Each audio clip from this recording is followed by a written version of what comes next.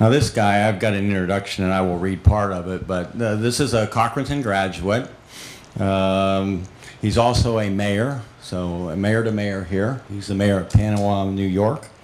And uh, his presentation is, be, is called Caught Between Two Worlds Captive and Natives on the um, Colonial Frontier. William Schneider is currently a seventh and eighth grade uh, science teacher in Panama, New York. Besides teaching, Bill enjoys his role as a living historian, bringing to life colonial skills and his ancestral Shawnee culture. As part of his historical role, Bill has been worked with many historic sites and has helped with them design and implement, implementation of a lot of programming. He also works with the Boy Scouts as a merit badge instructor, teaching various skills including outdoor topics and wilderness survival. He has done presentations and consulted with Forts Ticonderoga, Pitt, Niagara, and Le Boeuf, and as well as Prickett's, Prickett's Fort, Fortness, Louisville, and Bushy Run Historic Site. He's a member of the Harmony Historical Society, a past president, also the Fort Le Boeuf Historical Society, French Creek Living History. Is there any time you don't do anything? Uh, Ohio Valley Alliance and the Contemporary Long Rifle Associates and Prickett's Fort Foundation. He's also a member and helped us with the organization of this event, so we've been very pleased to have him, and uh, we hope that he finds three or four more things because we like busy people, they get things done. Please welcome Bill Schneider.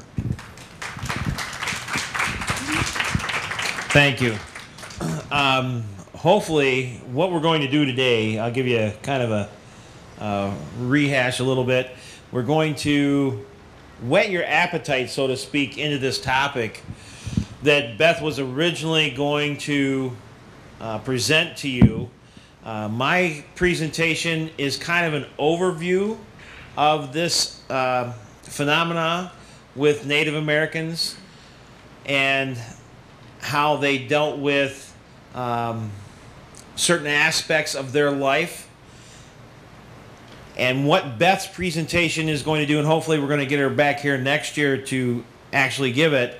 She's going to give the more in-depth flavor of her family connection with this phenomena of captives and native adoption and give you more of a personal insight when you start to talk about uh, natives and this concept of taking captives and what they did with the captives can become very in depth.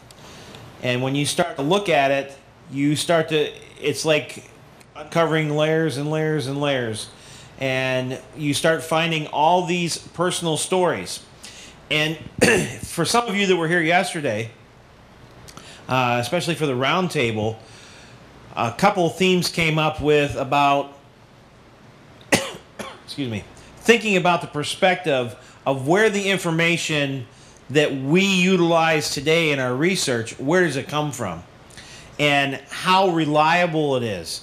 The question came up yesterday about, you know, we have three conflicting stories of the same event but each one comes from a different side or a different perspective.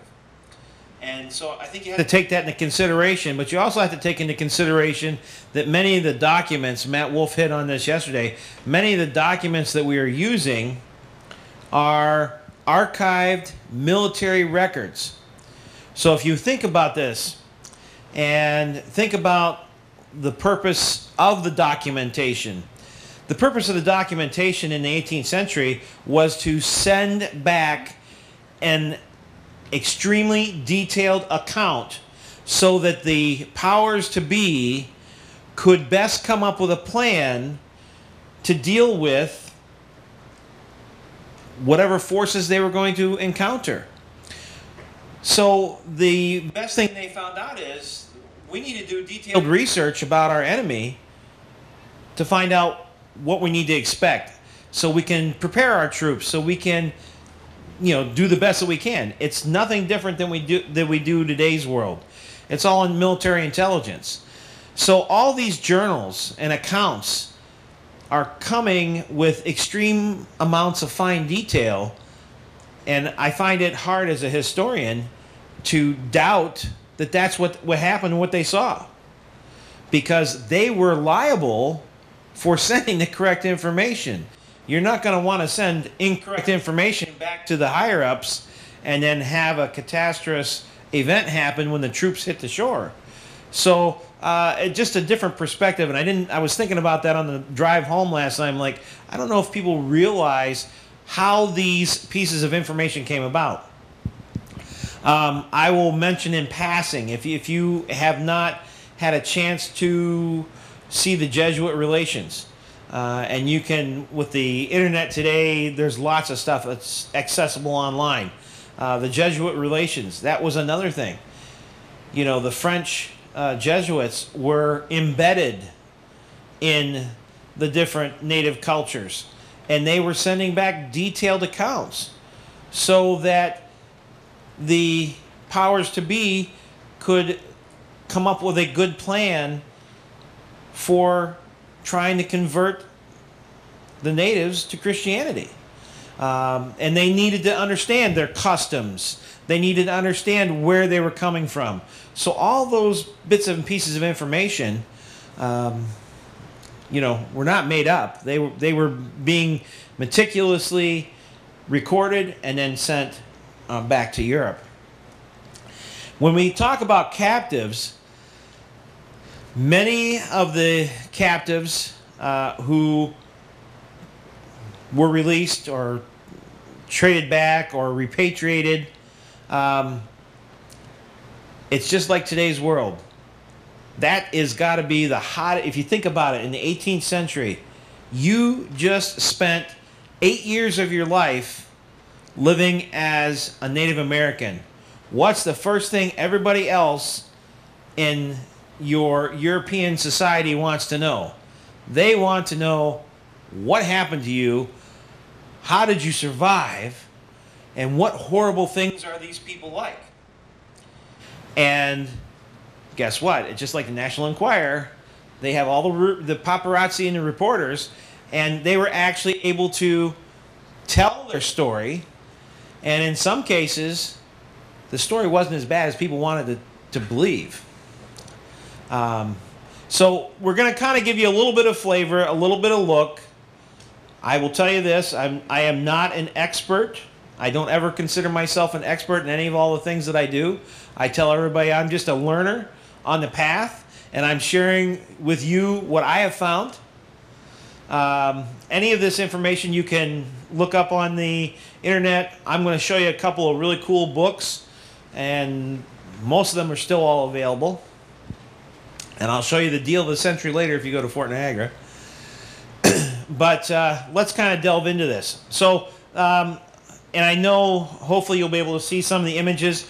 I was up till 11 o'clock last night trying to tweak all the images, keeping in mind I don't have a big screen behind me, that you got two little TV screens.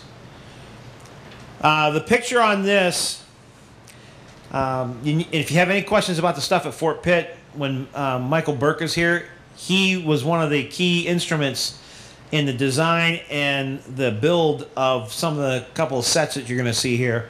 This was actually uh, a model that they did of a young boy that is, was taken captive and is being taken back to the village. And they had a wonderful uh, display on this topic two years ago. Was one of their rotational displays they had at Fort Pitt. Uh, taking of captives needs to be viewed as a part of culture for Eastern Woodland Indians. If you go back in world history itself, the idea of taking prisoners uh, in in times of war is nothing new. But the Native Americans, it wasn't considered solely a prisoner of war when you took uh, a captive. It had a little bit different meaning in many cases. And I threw up on this slide to kind of explain to you how or why my idea of the captives as part of a culture is that Native Americans have some specific items that they made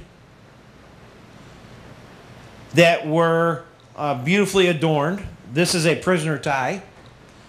And they made these specifically to be carried. Every warrior carried a prisoner tie with them, so that if the circumstances availed, they would have the means to take a captive and bring them back to their people. And this is uh, another, uh, what we call sometimes a prisoner collar. And it's very interesting that the prisoner collar is very reminiscent if you were to look at a tump line, which they would, a burden strap that they would pack their materials in. It's, this is like a miniature tump line, except uh, instead of the middle part being like 24 to 28 inches long, it's only like 11 to 12 inches long. Because that section was to go around the neck and it's only basically a ceremonial show that would be put on the uh, prisoner or captive when they came back were brought back to the village. So here you have artwork items I mean we call them artwork today but you have items that were specifically made to have specific meaning and had a specific use so it's part of their culture and for those of you that can't kind of get an idea, well, here's how it works.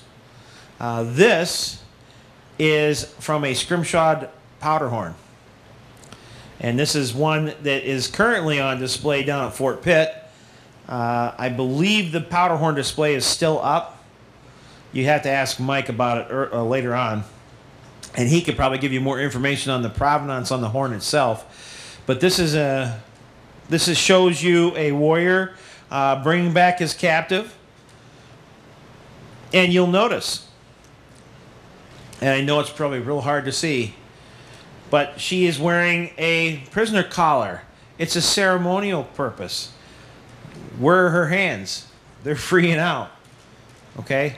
So many times, what happens when somebody gets taken captive, yes, there were horror stories. We know that in today's modern world, people love to, to send all these little horror stories. It wasn't always complete horror. It was rough, and we'll talk about that in a second. But, uh, you know, the idea is you're just going to have to go with the flow, and you'll be okay. And that's the case here. So, why do we need, have a need as a culture, the Native Americans, for taking captives? Well, I'll get the first one out of the way.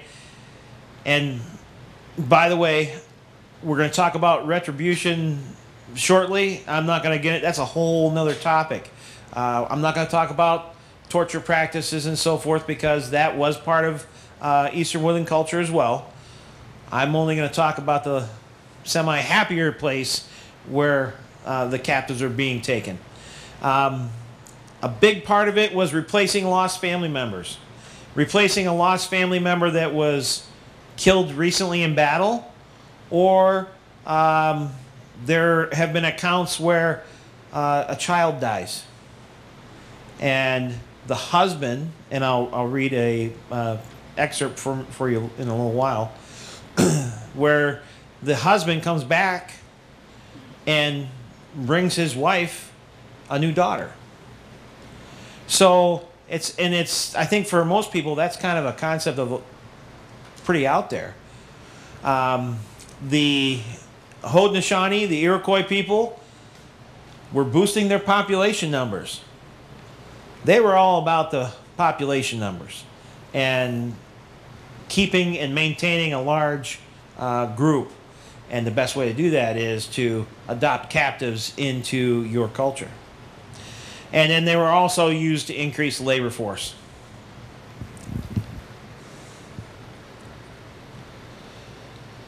So now we'll talk about the capture. And I threw these two pictures. These are the ones from Fort Pitt. Uh, two dioramas they did. And obviously you have the one gal on the left who her settlement was attacked. And uh, it's Massey uh, Harbison, I believe is the last name. And she tried to evade the best she could with her child. Uh, it didn't work out so well for her and she ended up being taken captive. It's very difficult if you consider yourself on the frontier and you get attacked, maybe your cabin, uh, your farm, your settlement. A lot of confusion going on. And some of these individuals, unfortunately, saw their family members, or most of their family, if not all of it, killed before their eyes. And then they had that dread that I'm going to be taken captive, and what am I, what's going to happen to me? There was a lot of a lot of unknown, and that kind of adds to why they tried to document and publish as many of these captive stories as possible, because it goes back to that intelligence, that military intelligence. Now, it wasn't so much militarily used, but it was used by the public to get across this is this is what could happen. If you go out on the frontier and you try to make it on your own this is what you may face. It's a reality. This is happening. So um, you get captured the prisoner tie which is more of a, or less an intricately uh, it's a it's a twined process. And sometimes they when they weave that finger weave that it turns out round, but sometimes they use an intricate, and for those of you who are hand weavers, uh, more of a box braid. And I have several uh, gentlemen who have actually held uh, original prisoner ties uh, from this continent and the ones that were sent over to Europe. There's another piece of information that's very interesting. So not only are we sending detailed uh, intelligence back to Europe, we're also categorizing and cataloging artifacts and sending it over for people to inspect and look at. So now we have this huge amount of artifacts that we can access in Europe that are almost like the day that they were sent because they were just kept as a, as a record. Uh, so when they look at the prisoner ties, you know, you get tied and you have this, what I call the journey after the capture. Uh, this is Griffing's uh, The Capture of Mary Jemison. And this is just a small snippet of his entire painting. And in the background, you see the cabin and there's smoke and flames. And so, one of the major hardships of being a captive was being taken back to whichever village or uh, camp or gathering the natives were going to take you. And sometimes that didn't go so well. Uh, there are accounts of children crying, and if they could not be uh, quieted or were causing too much trouble, uh, they may be killed and left to lay along the trail. And it is very unfortunate. But if you were successful in making the journey back, your ordeal was not quite finished. Uh, here is a Lee Teter uh, painting, and uh, Lee is a another. I don't want to say obscure artist, uh, but he's kind of made himself obscure because he doesn't do much limited edition art. Um, Lee was at the beginning, even before Griffing, uh, trying to portray colonial frontier life and some Western life as well.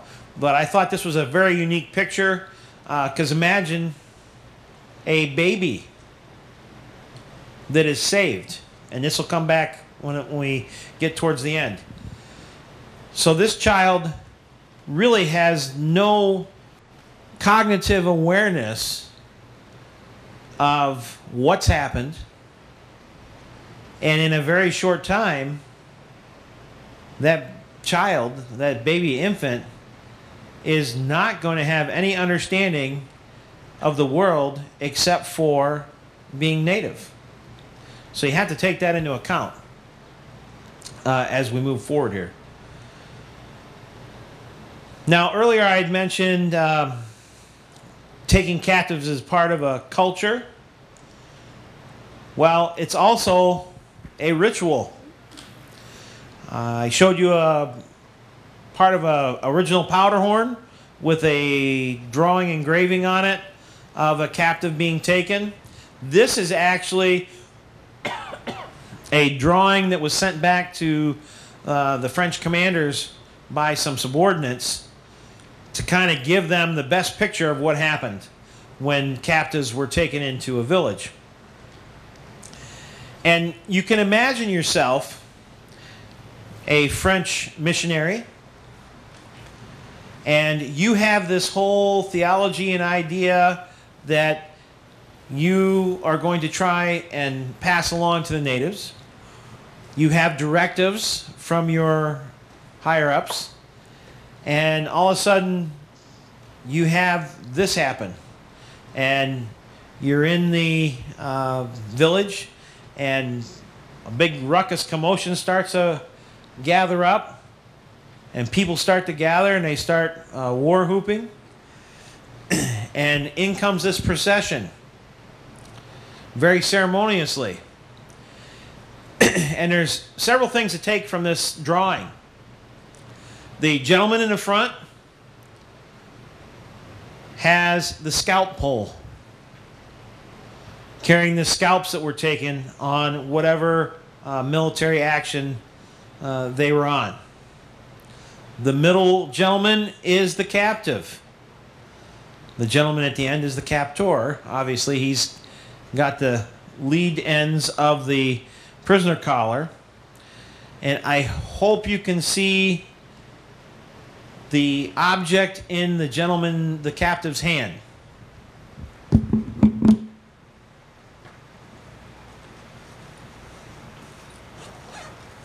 Because it wasn't just, oh, we captured some prisoners, let's take them over to our stockade or our little jail.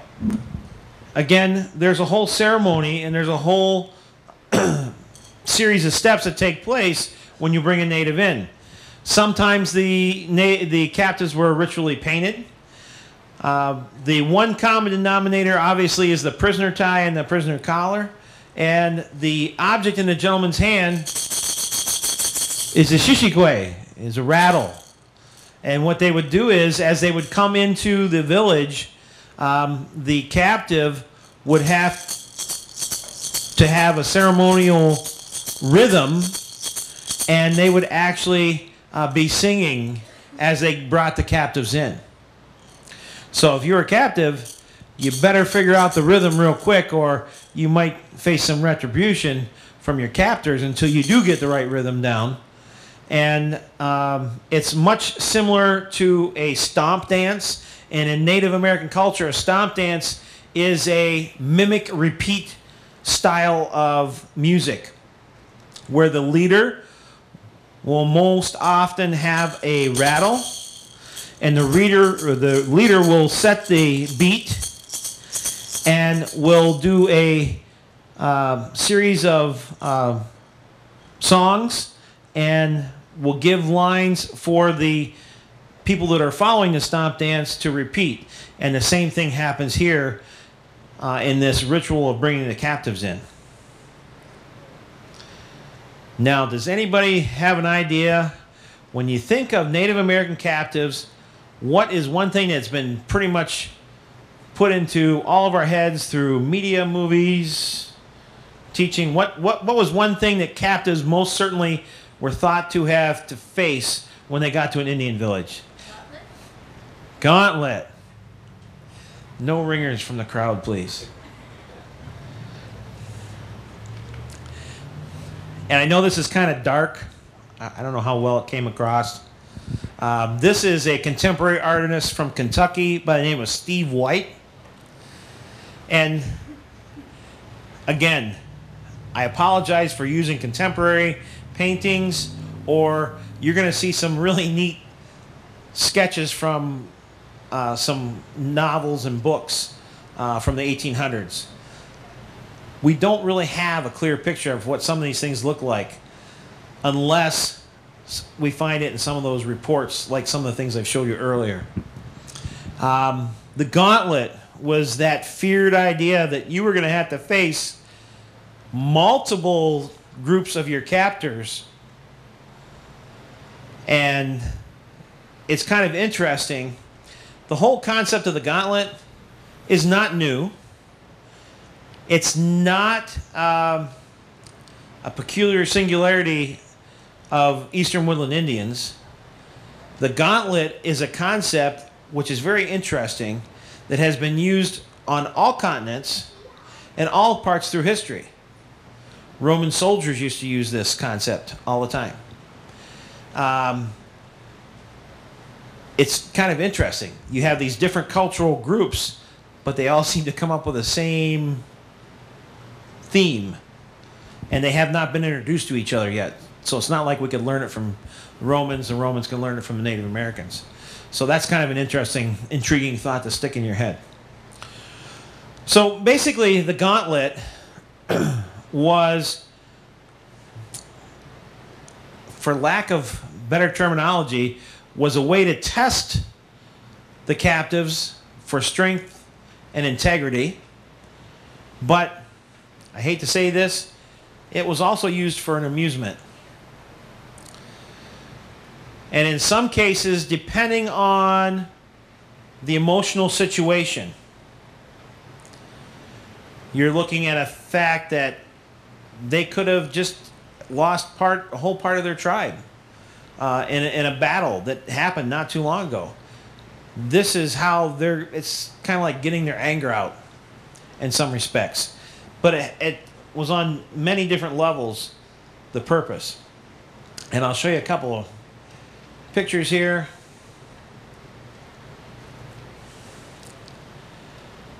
And this is these are from some 1800s books, uh, trying to depict what happens.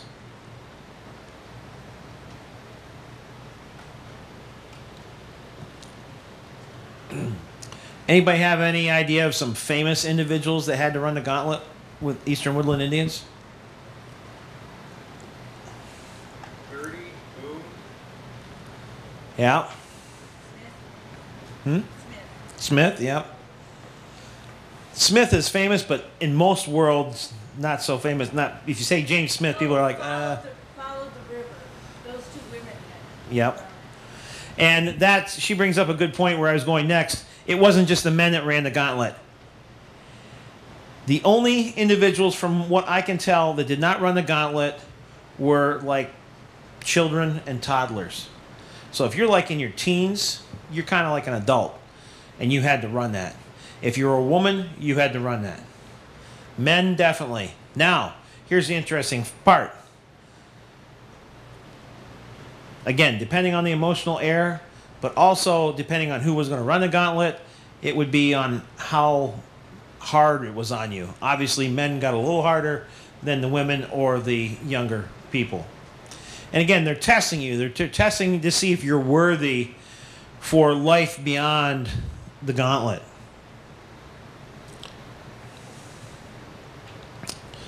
And let me uh, grab a couple of a couple readings here for you. Now, you, at the end, you can come up and take a look at these. Uh, a friend of ours in West Virginia, uh, an avid researcher, Alan Spencer, he took meticulous time and he's like, you know, we all spend time and we drag all these books when we go different places, and it's really hard to. You're trying to find that one quote to share with somebody. So what he took it upon himself is he wrote a book and his book is actually a compilation of different quotes and he organized them based on topic material. So these are my cheater sheets to read to you some ex- excerpts from journals. But uh, they're called They Gave the Halloo, and he's got four volumes right now. Um, we're trying to get him to come up next year to speak with us.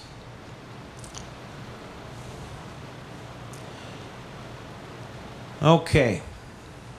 It says much has been said on the subject of preliminary cruelties inflicted on prisoners when they enter an Indian village with the conquering warriors. It was certain that it was treatment is very severe when a particular revenge is to be exercised.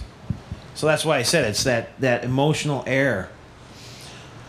I can say with truth that in many instances it is rather a scene of amusement than punishment. Much depends on the courage and presence of mind of the prisoner. On entering the village, he is shown a painted post at a distance from 20 to 40 yards and told to run to it and catch hold of it as quickly as he can. On each side of him stand men, women, and children with axes, sticks, and other offensive weapons, ready to strike him as he runs. In the same manner is done in the European armies when soldiers, as is called, run the gauntlet. If he should be so unlucky as to fall in the way, he will probably be immediately dispatched by the same person, longing to avenge the death of some relation or friend slain in battle.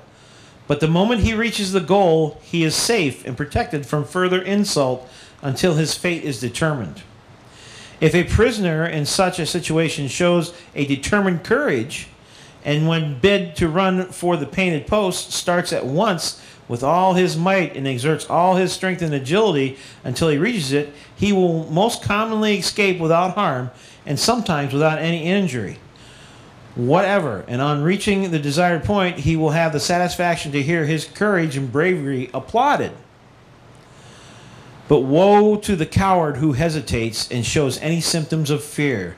He is treated without much mercy and is happy at last if he escapes with his life. And this is and that was from the history, manners, and customs of the Indian nations who once inhabited Pennsylvania and neighboring states by John Heckewelder. Heckewelder was a missionary who spent um, time in documenting the different aspects of Native life and culture. Imagine their arrival, the whole village, or rather the whole country, going to meet them at 500 paces from the village and to welcome them, but in a strange way. Everyone is armed with a club, another with a handful of thorns, another with a knife and a firebrand. They form in lines on both sides and mercilessly strike the prisoners until they have reached the platform prepared for the exhibition of their cruelty. And that was an excerpt from the Jesuit Relations.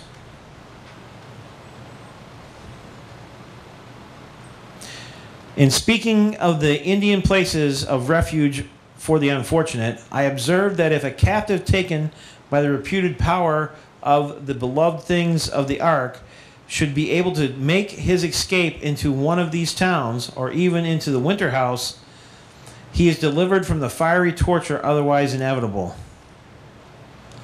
So that basically means that if he was able to get through uh, the gauntlet, they would survive. So that's the the next phase. Now, after that was a determination of what to do with the person. Uh, obviously, if you didn't show bravery and honor and spirit, you may, if you were lucky, be put into a slave labor aspect. If not, you may be killed in retribution for a slain uh, native. But if you were so lucky to be taken in as a family member, you got the next phase. Next phase is very interesting. Next phase is, was a ritual washing. So if you were lucky and you were going to be adopted into a native family, what they would do to you is they would prepare you. Uh, James Smith, uh, we talked a little bit about him yesterday. He was uh, captured and taken, and he survived up to this point. And he had a chief that was going to take him in, and they were going to give him a family. So after he did all this, and he survived the gauntlet. They made sure he was uh, his wounds were taken care of, and he was sitting in his uh, little lodge, and a gentleman came in, and Smith wrote an excellent account. And if you get a chance to get a hold of his uh, journal, it's very worth reading. But he talks about the gentleman plucking the hairs from his head a couple at a time. And it got to the point where it was getting difficult because the hairs were slippery. So the gentleman had a little uh, shell with some fire ash in it. And he would continually dip his fingers in the fire ash and use it to pull away all the hair except for the back of his scalp lock, which was a customary uh, hair style for Native American woodland Indians. And after they plucked him, James Smith goes on to say, They gave me this beautiful collar of wampum around my neck and placed silver armbands on my arms. So now imagine yourself in this situation. You've just survived taking a beating, and now they're being nice. Then you get your hair plucked out. Then they pull you out of the lodge and hand you over to three young ladies. And the three young ladies take him down to the river, and he was afraid for his life because he's like, This is it. They've all dressed me up, they've trussed me up, and now I'm, I'm, I'm, I'm a goner. I mean, and he'll, he says this in his journal. and they try to tell him to go under the water. And he does not understand what is taking place. Well, what is taking place is they're going to wash him. They're going to ritually wash him. And when they when he finally figures out that they aren't going to drown them, because that's what he was fearing that they were going to drown him in the river, he went along with the flow. And this is a depiction um, from the 1800s, a- an artist's conception of what that might look like. And you can see the large collar, you can see the the armbands, and the three maidens that are going to ritualistic wash him. And he said it felt like they were taking my skin off. But the idea was they were washing away his previous culture so that when he came out, he was born a new native. And, you know, when we think about again, uh, Tim Tadish had a very strong point yesterday about we look at the 18th century world, we can't use a modern mindset. So when we think about how prisoners are taken today and how they're treated and so forth, you can't transfer that back into the 18th century. It just doesn't work. but this was a meaningful thing. This was this was just as important as a, uh, a Sunday uh, go to church ritual. And afterwards, he was given the finest clothes and dressed and told that they were going to have a feast that night in his honor, at which the chief spared no expense in gathering a multitude of uh, dishes and different animals to cook for this feast, especially to welcome his new son into the family.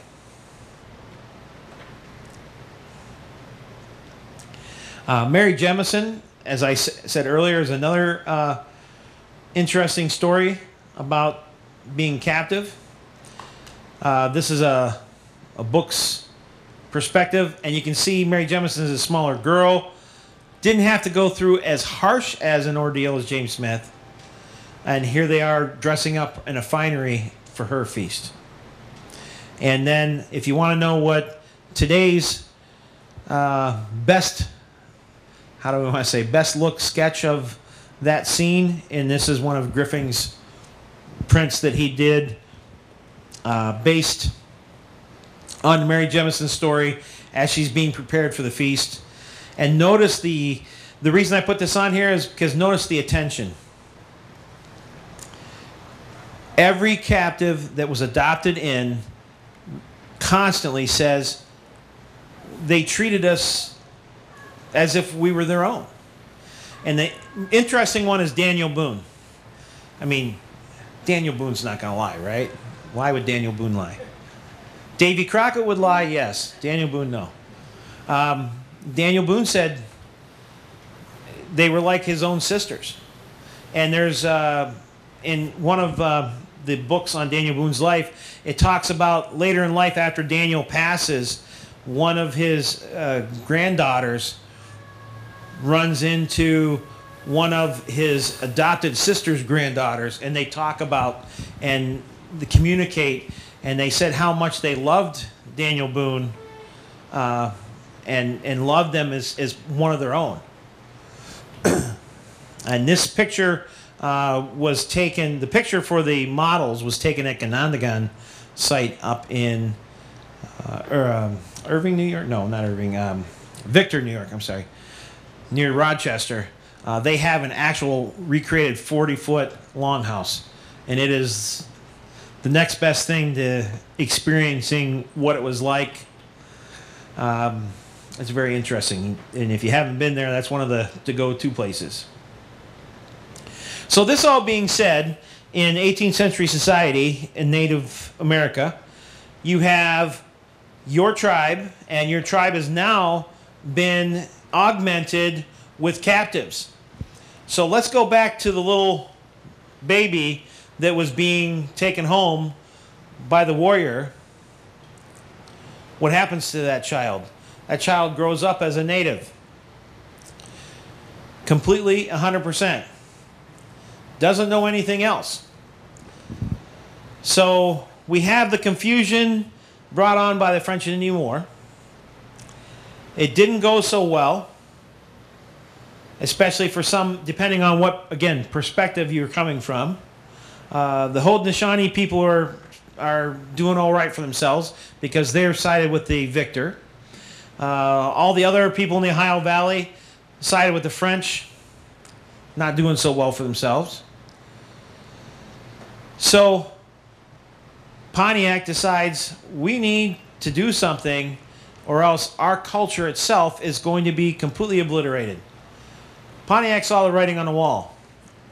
And he tried, and, was probably a, uh, a little too late type syndrome where he- to get the message across and get the power and force that he needed to, it didn't work out so good. So Pontiac's rebellion ended up in a treaty guaranteeing natives in 63 that they were still going to have rights. They were not going to be assimilated and made to uh, be European. So they thought that was okay. There was one piece of the puzzle that left, um, I don't know if it left a bad taste in Bouquet's mouth, but Bouquet had some unfinished business. Because he's like, this is great. We're all going to be in this same treaty now and everybody has the same understanding. We're going to try and live peaceably. But you have natural born European citizens in your tribes. We want them back. So in 1766, we have the Muskingum Treaty, and Bouquet basically tells the people, the natives, we're going to be fine with what we said in 63, but we need to make it better. So you need to give back the captives. So they had a huge council. This is a Benjamin West uh, painting, and this is the beginning part of the Treaty of Muskingum. Now, and if I kind of skip around, try to bear with me a little bit, give you a little side note here anytime a council or treaty took place, it was not, uh, oh, we're done in a couple hours or done in a day. Many times it carried on for days. Because uh, Native Americans, everything had a purpose, everything had a meaning. I think uh, if anything in today's life we could learn from that is that everything you do had a meaning to them. In today's world, it's just kind of like, eh, you know, we're just gonna go down here, gonna sign some papers. Eh. No, everything had ceremony, everything had purpose, everything was given the meaning that they felt it should. So negotiations were not taken in very lightly, carried on for days. So they've basically come up with an agreement that they're going to hand back the captives. So this is uh, from the documentation. Excuse me. Here's Benjamin West's best due at giving back the captives. Think about that child who grew up with the language of whatever Native American tribe he lived with and, and the customs and everything else. Maybe that child was a year, didn't really have a cognitive realization. Now that child is five or six. You are going to tear that child away from his mother and father and take him over here. So, kind of, I mean, think about that. But conversely, think about the fact that that's what happened in the first place to get the child into the Native American tribe. So it's kind of a it's kind of a vicious time period, uh, and it's uh, trouble for the natives because they're trying to keep and maintain their culture, and yet things are being stripped away from them. And if you can't see that one, I, I put two slides up here because I had two different sources of the same picture to kind of get an idea. Um, you know, it's kind of hard to see, but you see the child does not want to go back. So, let's give you uh, some picture references. We did this anniversary of the Treaty of Muskingum several years ago at Bushy Run. Um, and here is from based on the documentation.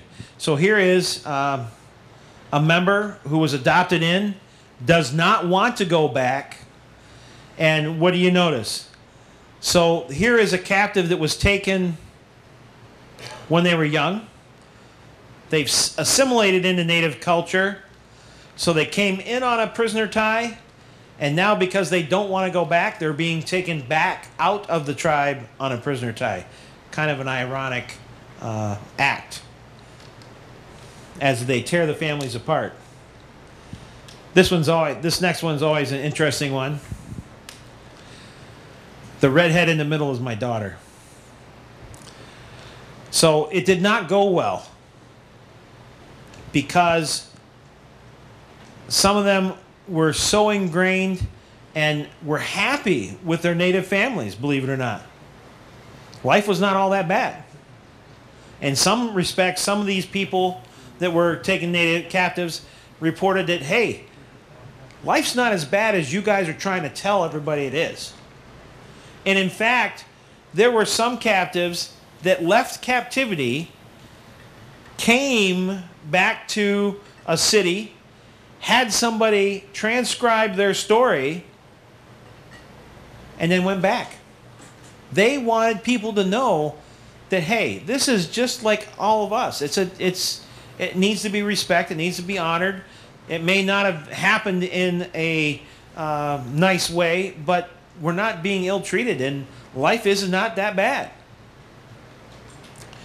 And then there were some uh, captives that I, I like this picture a lot. this is a uh, father and his adopted son, uh, older, but some of the captives understood what was happening and promised their adoptive parents that they would always honor and remember them until they could meet them again and basically will go peaceably and will not cause problems and that was the hard part with this whole treaty is getting back uh, the captives without problems taking place because the natives they were kind of in a precarious position. Uh, they had to make it go as smoothly as possible. And then I, I threw this this is this is kind of a cool this is a um, i found this this is off of a uh, dime novel from the 1800s about the life and times of colonel daniel boone but it's kind of interesting because what does it show it shows the ritualistic painting of daniel boone as he's being, in, uh, being adopted by blackfish blackfish was a very predominant chief of the shawnee nation and Boone played it off pretty good. Boone did the deal. He survived the rituals. They took him into the family. They loved him. They thought he was great. He thought that he loved his adopted sisters if they were his own blood. There's constantly little anecdotes where one of the things that the native family remembered about Boone was that he always made sure that his two adopted younger sisters were always protected and that he always brought them little gifts all the time. So if life's bad, you're not going to do those kinds of things. But Boone played the game, and then he waited until he uh, had the opportunity to escape eventually. And, and it was hard for him because he was faced with facing some of these people that were calling them their own uh, later on on the settlement raids in Kentucky. Uh, our idea of Eastern woodland life and captives is uh, kind of marred. I don't know if marred is the right word, but popularized maybe in pop culture. Uh, here's a 1950s book called The Captive Women. Uh, so these concepts were used, and our good old friend Walton Fess, Walt Disney and Fess Parker, um, and in retrospect, this is probably one of the best pieces done on this topic. And you're going to say, boy, you, you, the heat's really gotten cooked your brain. If you don't remember seeing this piece or have never seen this piece, my suggestion to you is you find it and you watch it. You're not watching it for historical authenticity in settings and costumes and stuff like that. Watch it for the story, especially thinking about the things we talked about, because it is probably one of the best stories. In fact, we use this um, as a middle school read because it's a it's a novel that was um, made into a movie, and the whole idea is this young lad was taken very early on. All he knows is Delaware culture. He's the son of a chief. And because the chief knows the importance of this treaty, he has to give up his only son because the, the uh, young boy was a replacement for a son that was lost. And now we're going to kind of tie some of all these things together. The only beef I have with the whole movie is the mohawk hairdo. Okay, it's not exactly. It'd have been much better if they would have done a traditional scalp lock. But if you think about what we talked about, let's gain some perspective now. So even though it's not historically correct, okay, but you think about it. Here he comes. Does he look like the rest of the uh, colonial people? No, he is. And I know that might be a little dark for you, but here's a scene where they're trying to welcome him back. His real parents have. Now, here's the thing. Remember what we talked about the captives. You get you you go through all the trials and tribulations. You get welcomed in. You get new clothes and everything else. Well, here we go. He's brought back into uh, the colonial society. Parents give him a whole brand new set of clothes. We are going to have a big feast and party in your honor. We're so happy to have you back. We love you so much. And he still has those remnants of native culture as a reminder, and, basically his hairstyle. Uh, and does not understand the culture. And this is a very interesting scene uh, where they do the ring in the cake thing. And the whole idea behind the little scene was the ring in the cake. And if you get the ring, you're supposed to give it to your favorite gal. Well, what they told him is Johnny gets the ring in the cake, and they tell him, he's like, What do I do with this? Because he has no idea of that custom. And they say, Oh, well, you give it to the person you admire.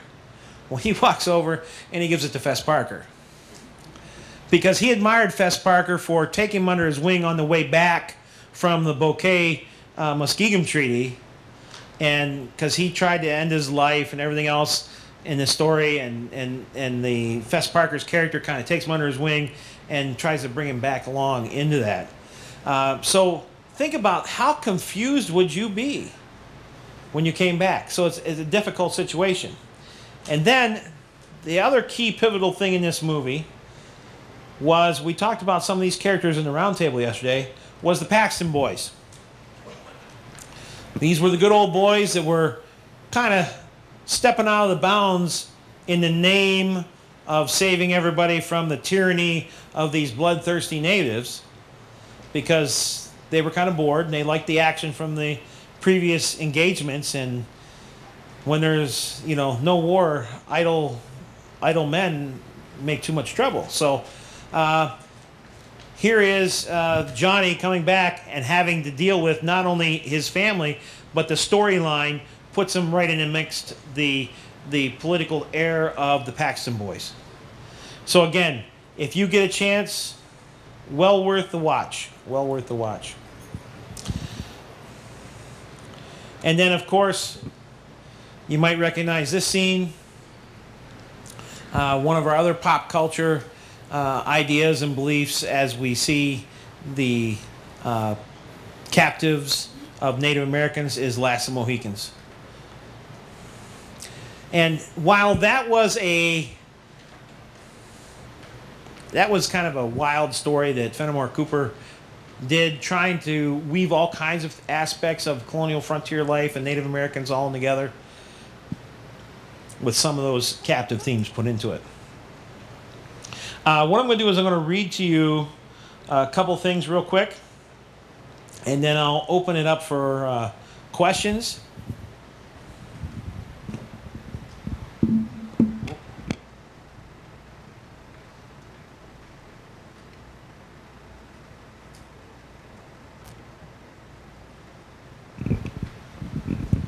Okay.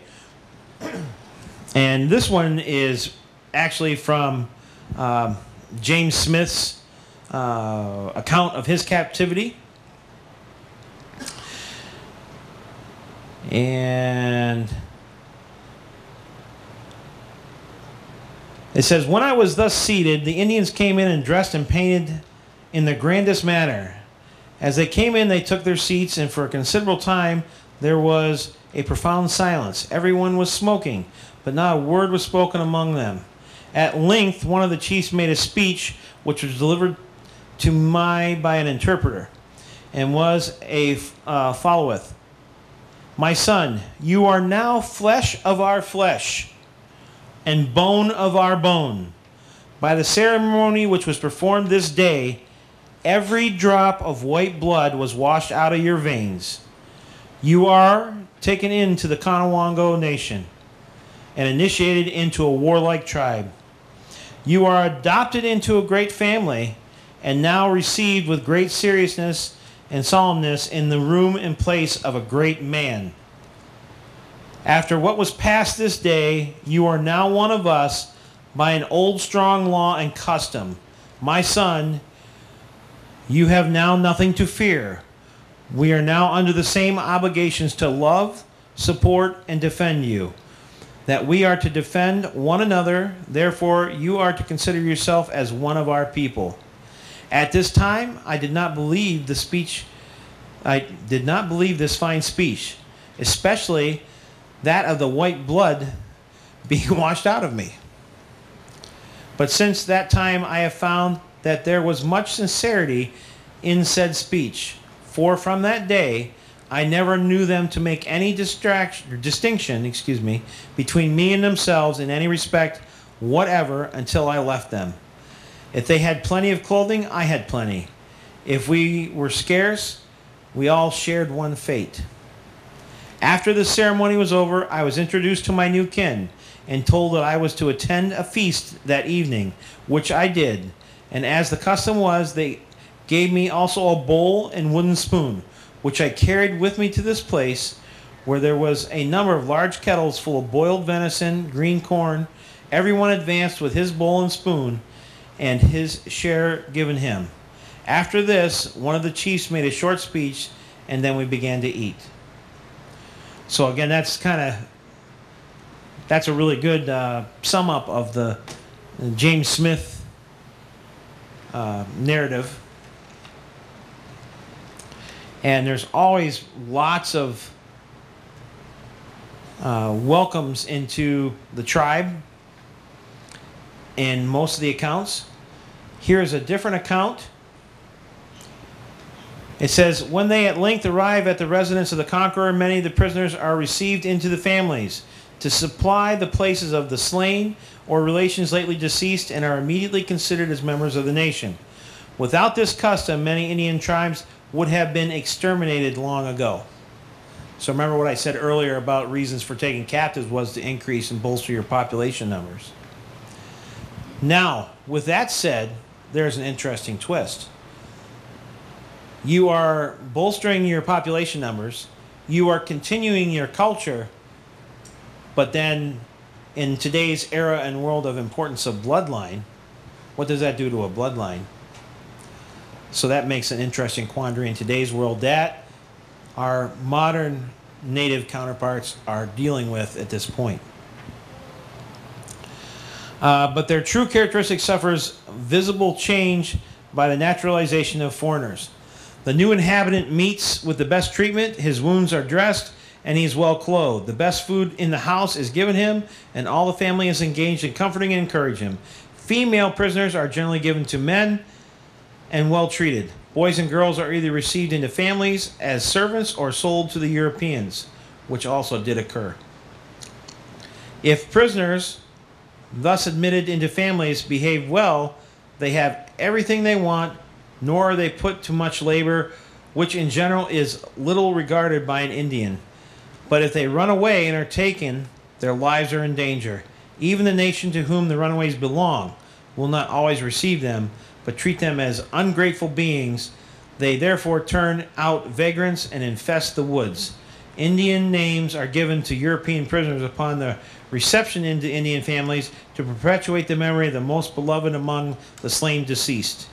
Many of them find the manner of living among the Indians so well suited to their inclinations that upon exchange of prisoners being made, they refuse to return to their own country.